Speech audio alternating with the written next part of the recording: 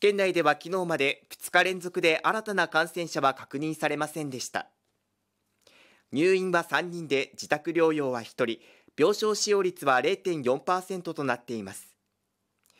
また県内のワクチン接種率はおとといまでに2回接種した12歳以上の割合が88.3%となっていて2385人が3回目の接種を終えています。